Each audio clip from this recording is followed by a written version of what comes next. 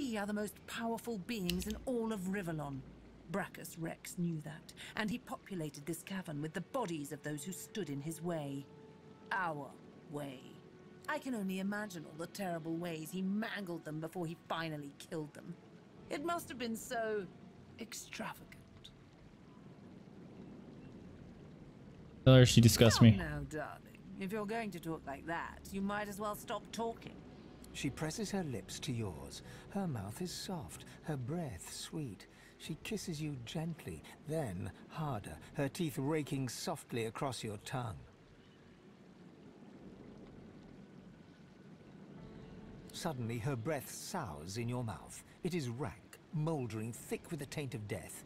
You try to pull away, but she is holding you tight and hard. You hear a low hum, getting louder. Before you realize what's happening, winged insects pour from her throat down yours.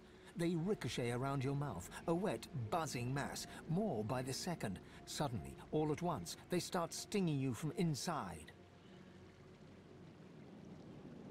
That's nasty. That's nasty. Oh, that's gross. I don't like her. Ugh, it's so gross. Turn away and start to retch, expelling the horrible beast from inside you. Give yourself over to this. There's no stopping it. You are powerless. Gross. No, push her She off. stumbles back a few paces and wipes her mouth. That's grody.